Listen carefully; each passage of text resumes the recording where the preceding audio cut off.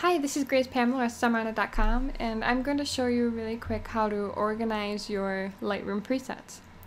So I have my Lightroom catalog opened and I went over to develop. And I, in my left panel over here I have my presets um, panel and here are my presets that I uploaded. So if I close this in, you can see that I have different um, Lightroom preset folders and you can organize all of them in here. So all you do is you select a preset, not the folder, but an individual preset. You right click and you go to show in Explorer on a PC and you click show in Finder on a Mac. Here you'll have all of your Lightroom presets in that collection. Now if you go back to develop presets, you'll see all of your presets, um, all of your individual preset collections here.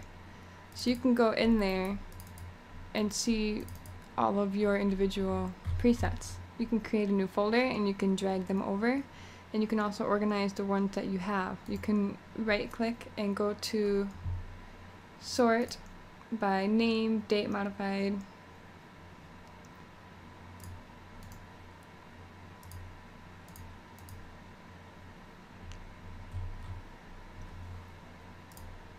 And you can also organize your folders in here.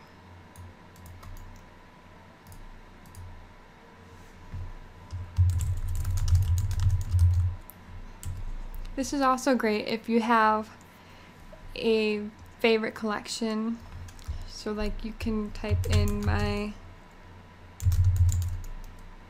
favorite presets. So that way you don't have a bunch of them all over and then you can go ahead and select all of the ones that you like or don't like and just copy and paste.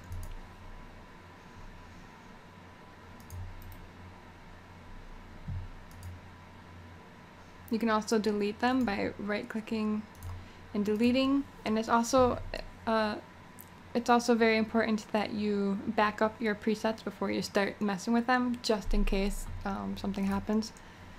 You might want to close down Lightroom 2 while you're organizing this.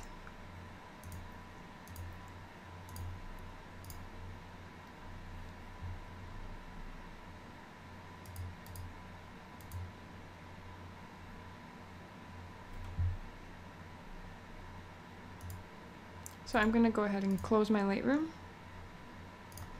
and open it again.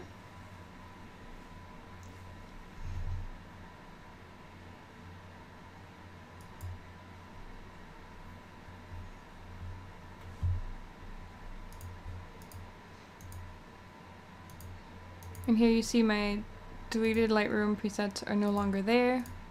And my favorite presets, I added it into this folder and then it's still here because I didn't delete it from here and um, so that way you can organize your presets much better.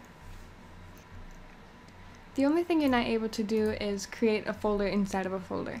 So you wouldn't be able to create a new folder and try to organize all of this. You would have to bring it over to a brand new folder in order to do that.